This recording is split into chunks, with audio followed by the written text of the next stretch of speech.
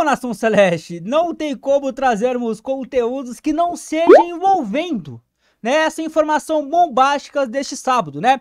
Hoje vai repercutir bastante, amanhã, nos próximos dias, nas próximas semanas, nos próximos meses, o mundo do futebol parou para repercutir que o Cruzeiro foi vendido 90%, né, das suas ações para o Ronaldo Fenômeno. Beleza? Isso vocês já devem saber. Inclusive, se você tiver afim, né, de acompanhar mais detalhes bem minuciosos sobre esta operação, eu te aconselho a acompanhar um vídeo que eu já trouxe mais cedo, mais cedo com detalhes, tá? Uh, desta desta obra-prima, podemos dizer assim, que foi né, essa é, venda do Cruzeiro para o Ronaldo Fenômeno. Informações da Itatiaia, tá? Apuração do Guilherme Pio e do Samuel Venâncio.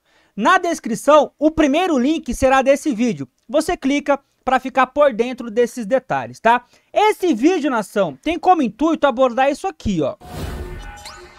Bora falar sobre quem será o homem forte do departamento de futebol do Cruzeiro no momento que passa o motoqueiro Lazarento Zé Ruela. E este homem forte não é o Alexandre Matos. Ah, Gilmar, mas o Alexandre Matos então não chega no Cruzeiro?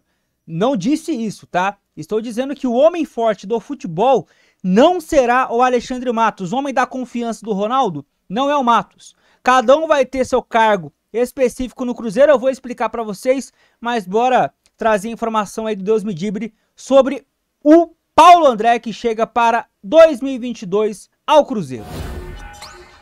Tá aí, ó, segundo a nossa apuração do Deus Medibre, Paulo André, que é zagueiro com passagem pelo Cruzeiro e que trabalhou junto com o Ronaldo. Olha de novo o Zé Ruela do Motoqueiro. Não vou parar a gravação.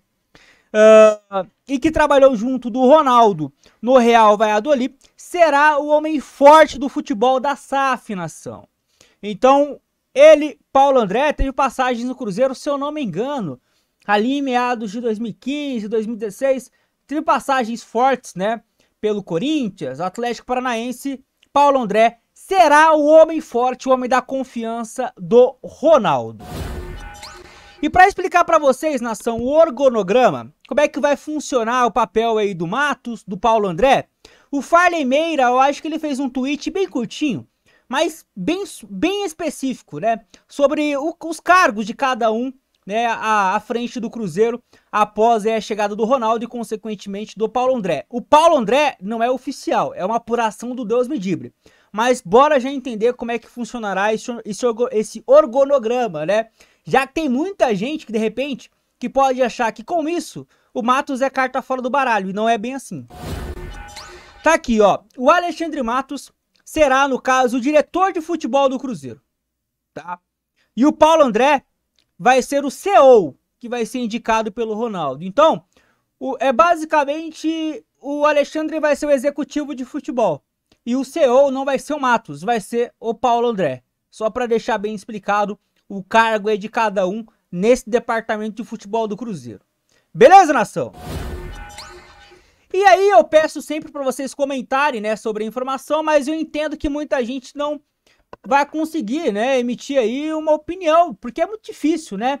A não ser que você tenha acompanhado como foi o Paulo André no Atlético Paranaense, né, na diretoria rubro-negra, como foi o próprio Paulo André no, no Real Valladolid, fica muito difícil aí de emitir né, um juízo de valor sobre essa chegada do Paulo André, que repito, não é nada oficial, mas é uma apuração do, do Deus Medibre.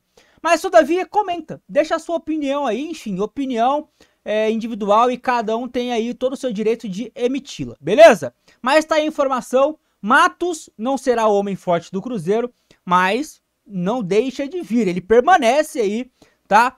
Como, é, como esperado, né, para chegar em BH, para chegar no Cruzeiro, para ser oficializado em janeiro, tá? Nada muda, só para poder explicar para vocês aí o papel de cada um. Beleza, nação? E pra gente poder finalizar esse vídeo, bora rever novamente o momento aí, né, que foi feito no Instagram é, o anúncio do Ronaldo como comprador do Cruzeiro. Vou finalizar o vídeo com, com esse vídeo novamente. Se você não viu, fica aí pra ver e deixa o like, tá?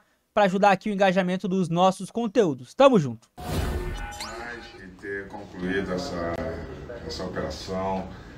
Obrigado, Sérgio, teve um papel fundamental nisso tudo, o Pedro também.